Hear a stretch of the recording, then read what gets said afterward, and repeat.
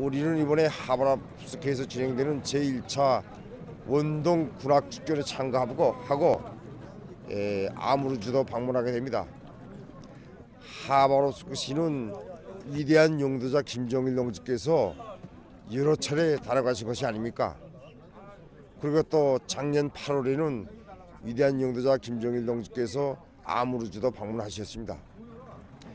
우리는 이번 군악 축전에 참가해서 절세 위인들의 그 업적이 깃들어 있는 이 하브라스크 시와 아무르주에서 우리의 혁명가를 더 힘있게 올 것입니다.